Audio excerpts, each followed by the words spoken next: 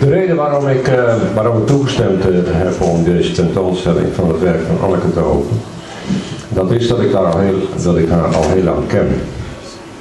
Ik kan me herinneren dat ik haar voor het eerst ontmoette toen ik, en dat is ondertussen al heel lang geleden, uh, haar voor het eerst ontmoette op de Pretentieloze. Dat was een vereniging van, laten we zeggen, amateur kunstliefhebbers.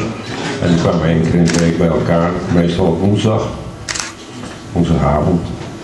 En dan was ik daar in de rol van begeleider om mensen zo nu en dan tips te geven van hoe ze bepaalde dingen wel of niet zouden kunnen tekenen of schilderen. En daar heb ik zowel Anneke leren kennen als Ben. En Ben is een verdienstelijke tekenaar. Ik durf zelfs te beweren dat hij veel beter tekenen kon dan ik. Maar dat liet ik natuurlijk niet merken, dat begrijpt u wel.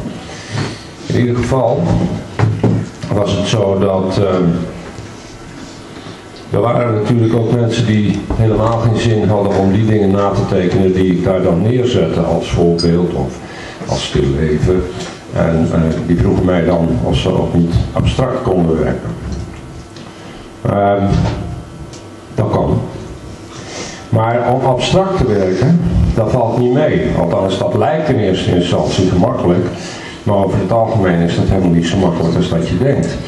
De eerste twee, dat gaat over, over het algemeen wel aardig. En dat heeft te maken met het feit, naar mijn idee, dat dat een beetje parallel loopt met de telefoonkrabbels die mensen gewoon zijn om te maken. Dat zijn vaak ook van die, van die wonderlijke, bijna schrijfseltjes, uh, die uh, als je daar terugkijkt, vaak heel, heel vaak ook dezelfde vorm blijken te hebben.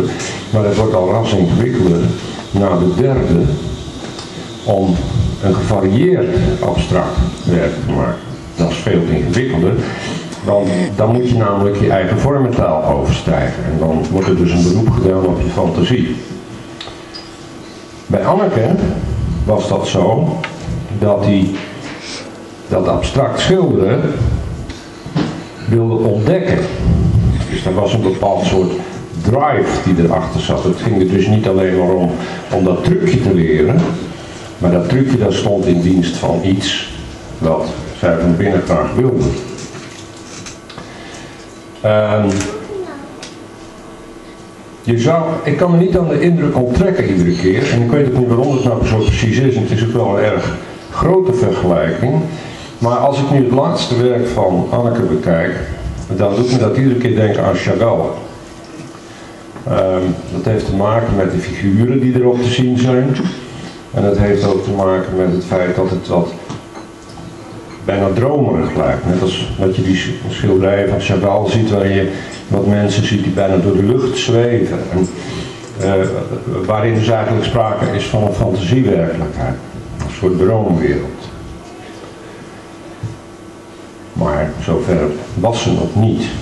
Toen ze begon met die abstracte schilderijen, waarvan er hier ook een aantal te zien zijn.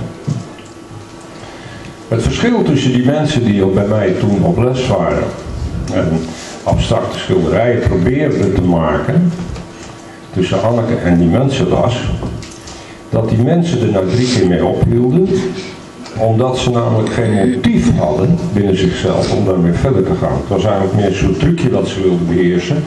En dan kwamen ze tot ontdekking dat er meer voor nodig was, namelijk een soort inhoudelijke drive om daar überhaupt mee verder te gaan. En die drive, die heeft te maken met het feit dat je die abstractie wil beheersen als een middel om iets uit te drukken. En niet als doel. Dat is te zien bij, uh, bij Anneke, nu, dus zeg maar een heel aantal jaren later, waarin ze dus als het ware die abstractie als middel voor haar, als gereedschap om zichzelf uit te drukken, uh, behoorlijk heeft uh, leren beheersen. Maar blijkbaar is dat toch niet genoeg geweest voor haar. Je ziet dan ook op een gegeven moment een verschuiving in binnen die abstracties, waarin hele kleine figuraties opduiken. In eerste instantie misschien nog niet eens zo aanneembaar, maar allengs zichtbaarder in de vorm van visjes enzovoort.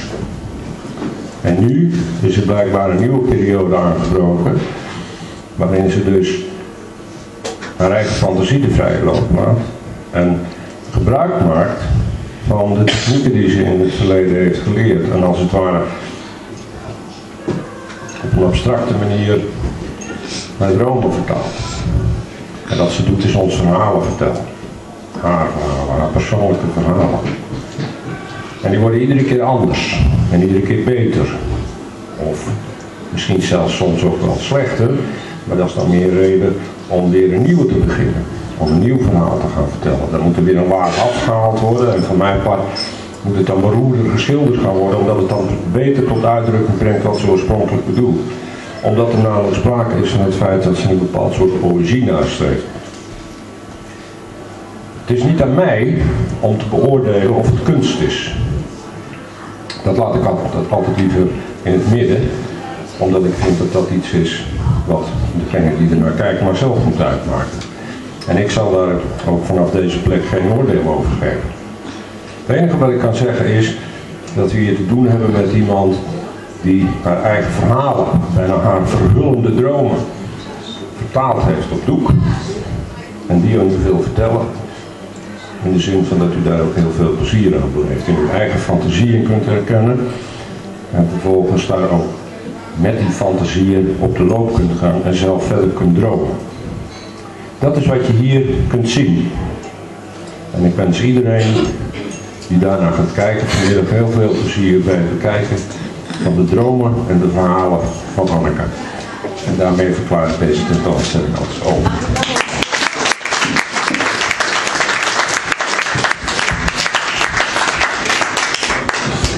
Ik wou jou even bedanken voor je krachtige woorden. Ik had het zelf niet beter kunnen zeggen. Nou, dat is prettig. Ik ben niet gewend om te spreken in het openbaar hoor. Dus, maar ik weet dat jij ook in een nieuwe ontwikkeling zit, in een Ja. nieuwe fase. En ik, misschien dat dit een hulpmiddeltje erbij is als dank voor je krachtige opening. Dankjewel. Dankjewel.